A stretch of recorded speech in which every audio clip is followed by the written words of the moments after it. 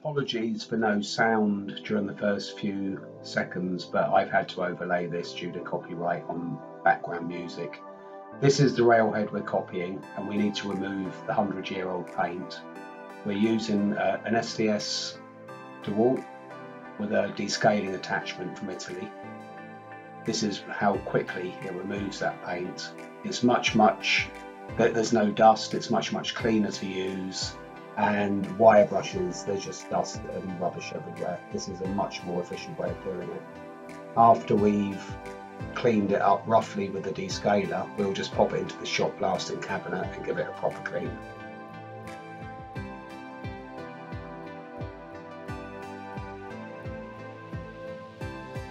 is almost done now. It gets 99% of the rub rubbish off, but the, the sandblaster, well, you'll see the difference in a minute, but it gets into this stage, which is very easy to clean from then on. If you're wondering where we get the cast iron from to melt down, basically the best method is go to local garage and get second-hand discs. They'll give them to you for free and they're good quality cast. So what we do is if we cut up this top piece first,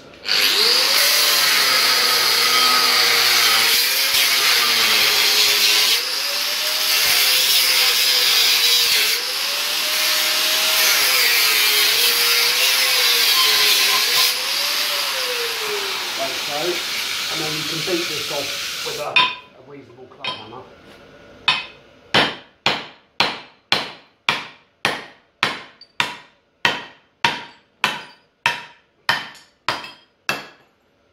That's that part done. And now you've got the nice thick bit. So we'll divide this. This is half the disc. So we cut it in half. And we're on the other side and give it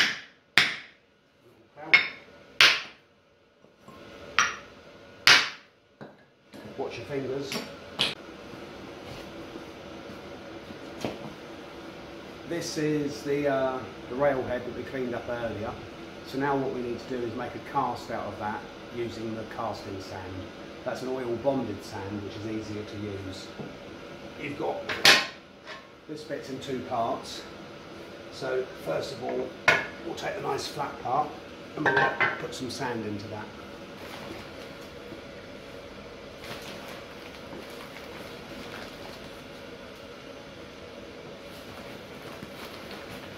scrape that off. You look at this rail head, it's actually a parting line where you can see where they did this hundreds of years ago. So what we're going to do is we're going to keep it the same. See here, we'll line up like this, like so. And I'm going to tap it down halfway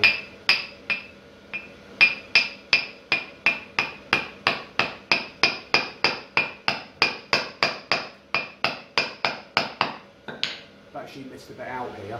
What I should have done, if we take that out, so we want to sprinkle this with talcum powder and it prevents the sand from sticking on the part because we're going to need to remove this later. So if we come back down to the part line again, so, so we'll tap it down halfway.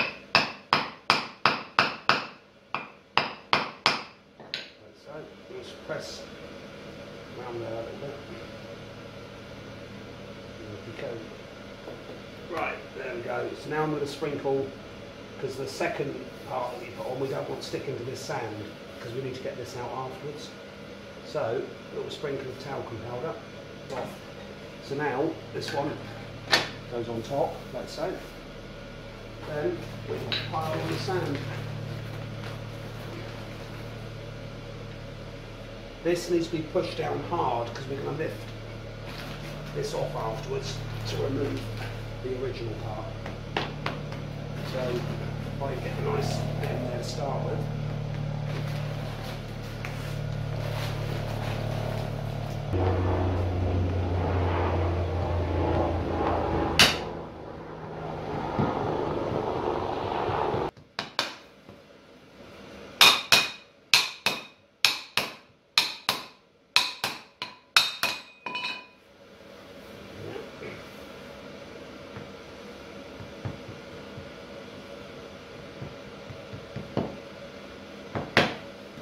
Some reason the camera didn't operate, but what I've basically done is I've tapped this, I've lifted this one up like so. I've taken the masterpiece out, so now it's left with a void the same shape as this. Using a wood drill here, I've drilled two holes to let the cast iron go in and out, and then I've carefully placed this back onto the mould. So now what's going to happen is the cast iron will go in here and out there. Usually we would melt down the cast while we're doing this to save time, but because it's a very noisy process, I decided to do this first so you'll be able to hear me. Alright, let's melt down the cast iron.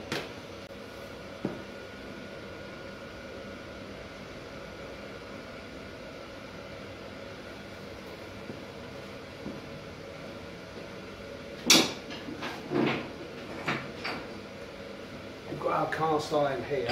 I'm going to put the crucible in first, which is this. It's made out of graphite. And I'm carefully, because these crucibles are not particularly strong, so you to be very gentle with them.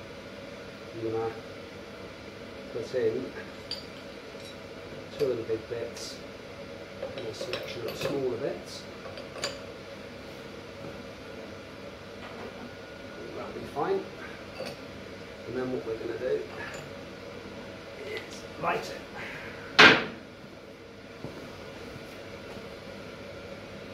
After we light this, you're not really going to hear very much because it's very noisy, and then I'll do some recording again after it's been poured.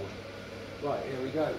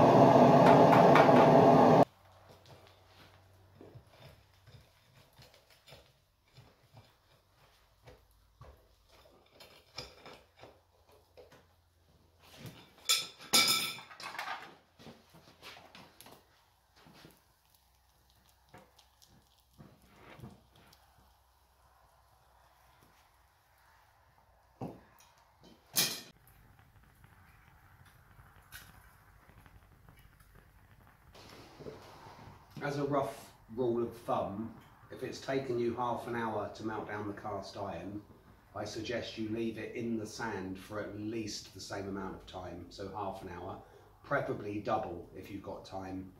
If you take it out too quickly and heat it down too quickly, it becomes very brittle and it's likely to crack. If you pour water on it, it may even crack straight away.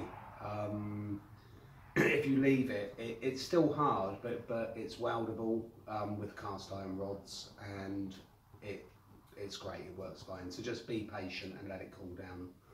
Bear in mind, this is very very dangerous. If that crucible breaks, you need to be so careful to keep your body and feet away from where you're lifting it. Lift it as low as you possibly can. Don't lift it any higher than you absolutely have to to get it out of the furnace. Put it straight away, gently onto the floor, and then pour it as I've shown you, putting it back in afterwards because obviously it's also a fire hazard. Um, this isn't for playing with, you really need to be very, very careful or you could end up in serious trouble. Okay, I'll uh, be patient, I'll let that cool down and then I'll break it out and show you.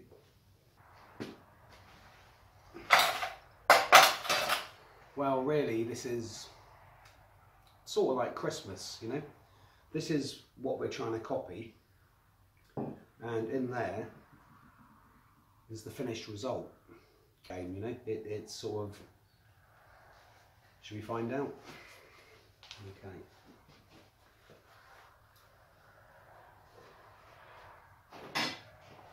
There he goes. Remember, it's still very, very hot, so just be careful. Be very careful.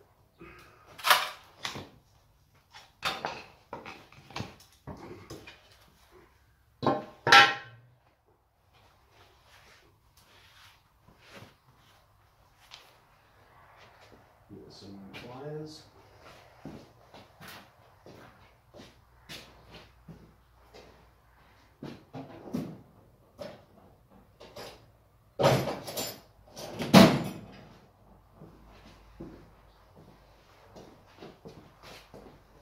These welding gloves are really the bare minimum. I mean, they're very good for what they are, but be careful.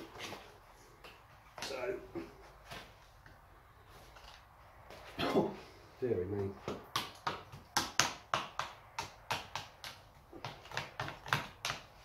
So, prior to clean up, that's the original and that's the copy. And there's the finished result. The original's in front with the talcum powder on it and the copy is behind. They've basically come out identical. Um, there you go. That's how you copy something um, and make it out of cast iron. Thanks for watching. Uh, please subscribe for more.